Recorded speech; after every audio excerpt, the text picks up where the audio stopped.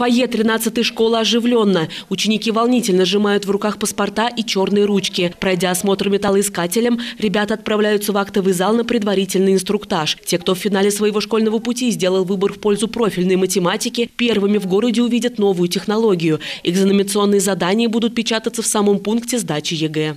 Раньше эти э, все материалы привозились из Нижнего Новгорода в напечатанном виде. Все было достаточно громоздко. Сейчас мы отрабатываем новую технологию, когда из Нижнего пришли только диски. Упаковки с дисками вскрываются во всех пунктах сдачи ЕГЭ одновременно, сразу после единого сигнала о начале тренировочного испытания. Все процедуры проходят по четкому регламенту. Контрольно-измерительные материалы запускаются в печать, после чего у школьников будет ровно 3 часа 55 минут на выполнение заданий.